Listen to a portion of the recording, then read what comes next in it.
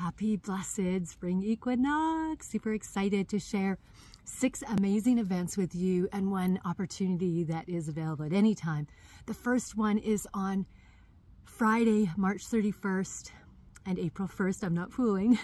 the marathon uh, is happening and I'm super excited to be speaking at 9 o'clock Mountain Standard Time about why your sexual health matters this taboo subject is more important than um, I ever realized, and I'm super passionate to be sharing about that. Solar plexus, if you are live in Edmonton in person, I have two spots left. Uh, click on the link below and stay tuned because I will be bringing uh, the next uh, Kundalini dance to Penticton, BC area uh, in May. And flip your switch for educators. If you're a parent, a caregiver, or a manager of a business, Flip Your Switch for Educators is a, a way to bring belief believer patterning to your community and help people just to be, uh, shift their mindset.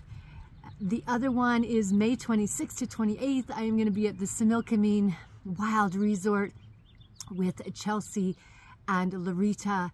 And we are going to be offering the Goddess Getaway. Um, we have around seven spots. So if that um, calls you, click on the link below. And then on um, July 7th, 8th, and 9th in Edmonton in person, you can also register for this um, event at any time online. Uh, Flip Your Switch, which is a signature Belief Re-Patterning event. This is the one event that has changed everything in my life. This is the one event that uh, allows me to be confident speaking about the taboo subject of sexuality. I wouldn't be doing it if it wasn't for Belief Re-Patterning.